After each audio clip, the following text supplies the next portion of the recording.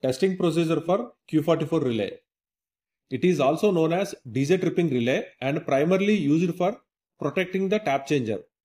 Q44 relay is having a time delay of 0.6 seconds and this time delay helps prevent overcurrents and other issues during voltage transitions. Kept the Q44 relay in test bench and applied 70 volts DC supply to it. Press the push button and ensure the time lag of 0.6 seconds in timer.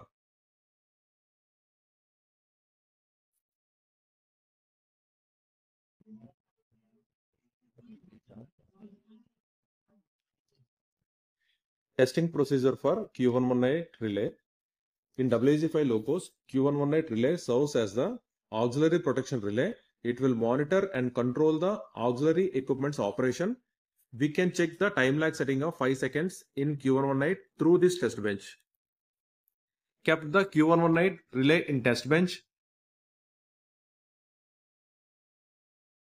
and applied 70 volts DC supply to it. Press the push button and ensure the time lag of 5 seconds in timer.